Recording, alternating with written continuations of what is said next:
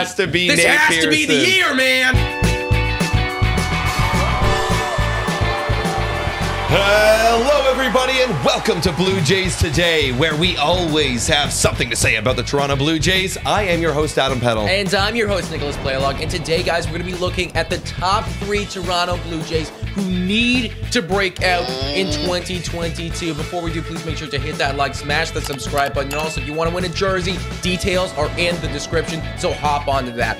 All right, Adam, who is your number one guy? The number one Blue Jay who we need to break out if we if we want a chance at touching 90 wins again. Who you got? Oh, I definitely got Nate Pearson. It has boy. to be. It has, to be. This Nate has to be the year, man. It, it has to be okay, because like this guy has been like he is giving me some serious blue balls. Oh, buddy, buddy, they balls. are like raw They're blue. raw card, okay? Yes. And but here's the reason why, guys, because he was a former number one prospect. Mm-hmm. He's still young. He can throw his upper 90s, touches 101 with ease. And this guy, 25 years old. Now, let me take a look at his last year here. Yep. Because we all know what happened. He came up, we started in that Houston game, and he sucked. He sucked really bad. Then he got hurt with the groin issue, Mm-hmm. and we didn't see him. However, when he came back and he was in the bullpen, he had a 284 ERA with 20 strikeouts Yep. and five walks. Yep. And that's the key for me is limiting those walks and throwing that high one or the low 100 but that high velo because that people cannot hit that. No, no, man. It was always the command with him. We know that he's got the stuff. Can he like put it in the zone consistently? And we started to see that a little bit in the bullpen when we were just focusing on one or two outs, you know? Mm-hmm. And I think that's what he needed. It's like we got to take this step at a time. You can't run before you walk. You Yeah. can't walk before you crawl. And Nate Pearson tried to get out running right away. Yeah. And it was too much too quickly. I think that this is the year though. Yes. He's going to be in a role. I truly believe he's going to be in a role where he needs to be a starter. I don't see us going out and gathering at least two more pitchers Yeah. to fill the roles of Steven Matz and Robbie Ray. So Nate Pearson's going to have his opportunity. We need him to do something with it. Absolutely. I agree. And a guy who kind of missed out on an opportunity last year as well with injury is Cavan Biggio, and he's And next on our list. God damn it, man! And he it, it's time. it's, it needs to happen. It needs to happen. Yeah, why you do know- you why do you think it's time for Cavan Biggio? Well, for God's sakes, man, like he's part of the trio, and we've been leaving him out of that trio of Bo Bichette Yeah. and Vlad because it's like he kind of dipped off, and we saw last year it was it was just all bad, you know. The defense was Yeah. horrible. The bat was horrible, and I was looking at his baseball savant page too. What he was good at when he came up, what he was good at Yeah. in 2019, uh, 2020 he just got horrible at in 2021. Like he did not take first pitch strikes anymore. He was swinging at them. His chase rate was through the roof Mm-hmm. Yeah. for what it was in the past. And he was so good at hitting breaking balls in, in Yeah. 2020, and he just fucking sucked at it in Yeah. 2021. And- so yeah. everything got bad.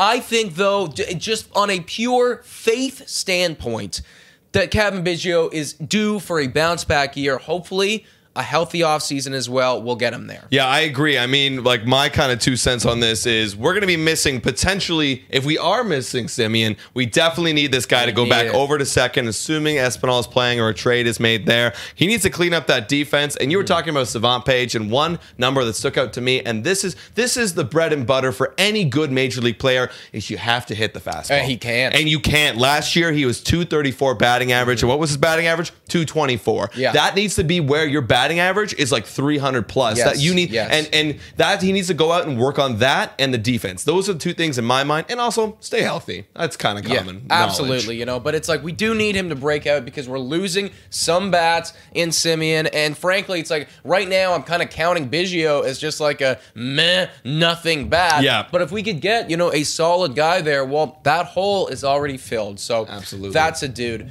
Last on our list is a guy who, in my mind, has kind of already like taken the first steps in breaking out, but he could go further. The potential is there to go even higher. Mm-hmm. It's Alejandro Kirk at the catching position. And don't get me wrong, he is a stud already in my eyes. I Oh yeah, love this guy. compared to average MLB catchers. Compared to average MLB catchers, he's elite. But you were telling me about the expected numbers, and Yes. he's got a ceiling that we weren't even aware of. Oh guys. my gosh. I mean, when he first came up in 2020, we saw a little bit of that ceiling. I mean, look at his expected numbers, guys. Expecting batting average at 288 and expected slugging at 511. Now, compared to what he did in 2021, he hit 242 and a slugging of 436. So that's Right. like, you know, average kind of catcher. I mean, I'm not going to be disappointed, certainly not. No. But I think there's some good potential for a 20 to 25 home run catcher, which you do not see in the MLB. Mm-hmm. And look, everything's there. He just has to keep doing it. The batted profile, he, you know what his batted ball profile, wh- wh- who they were comparing him to? Who?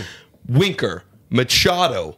Olson and Seager. So he's doing it. I think he just needs Holy a bit. crap. Yeah. Yeah. That's ju- four All Stars those are right there, four. All Stars, and he, this guy just needs to stay healthy because he was hurt last year. Only played and appeared in 60 games. He needs to stay healthy and get regular time. And I believe if he does, if he does that, he's going to break out. Yeah, man. And, and you know what? I know that he's been on the trade radar for a lot of people recently. And I've always been of the mindset it's like, okay, if we can get like the absolute stud that puts us over the edge as a team, I, I'll take it.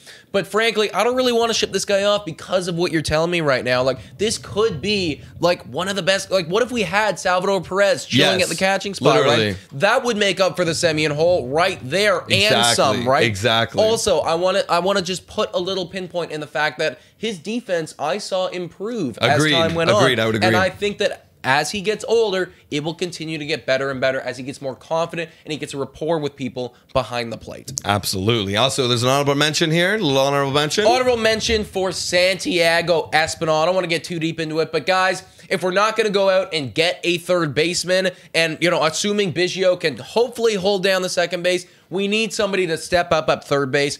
Espinal, exceptional defensively. The bats already look pretty good, but he's only got 282 at bats in his career. I still think there's more of a ceiling there. If he can keep the batting average up, maybe hit a few more doubles, we're laughing. Yeah, I think if he just you know maybe hits the gym a little bit, gets that slugging up a bit, and uh, and he stays with that like 300 batting average, which we're knowing in that great defense, and he plays a full season, that's a breakout for me. Yeah, man, his batted ball profile, a U League Uriel. There you go. So, that's perfect. That guy's know, an elite guy. Yeah, I think so. I think so. But friends, let us know in the comments down below what you think about this. Who is your breakout Blue Jays that need to happen in 2022? Did we get it right? Comment it down below. And guys, check us out on Spotify, Google Podcasts, Anchor Radio Public, and Breaker. Also, check out our Instagram, Twitter, and our TikTok. Please like, comment, and subscribe if you enjoyed this content. And as well, FanDuel. This is what this video is brought to you by is FanDuel. Register through our link in our description, and you could be entered into a jersey contest. All you gotta do is enter a $1 contest minimum. And as well, guys, this video is also sponsored by our sponsors.